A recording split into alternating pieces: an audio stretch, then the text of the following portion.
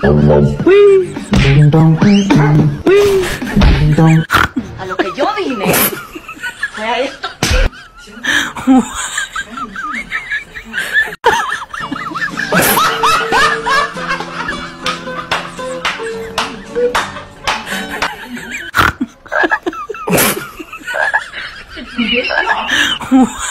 Wow, pensaba que era como que era como que no.